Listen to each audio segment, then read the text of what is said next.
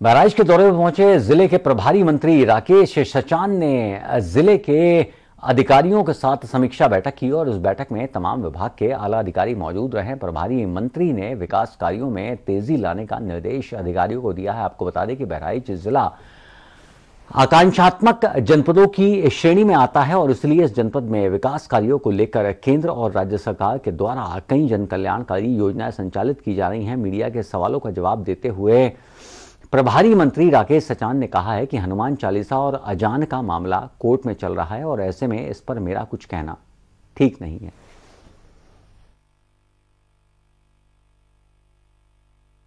कानून व्यवस्था पूरी तरह से नियंत्रण में है और अभी कानून व्यवस्था पर हमारी पूरी तरह से यहाँ चर्चा हुई बहराइच जनपद तो इन्होंने चाहे महिला उत्पीड़न या पास्को पे हो या गैंगस्टर एक्ट पे हो हर पर कार्रवाई की है और पूरी तरह से कोई ऐसा घटना नहीं हुई है जिससे कोई ये कहा जाए कि कानून व्यवस्था खराब है। अखिलेश यादव सीधे कहा है कि जो ये सरकार है ये पुलिस से राजनीतिक के तौर पर काम करा रही राजनीतिक काम करवा रही है। अब विपक्ष तो ये कहेगा ही उसके लिए आप क्या उनके पास और क्या है यही कहेंगे।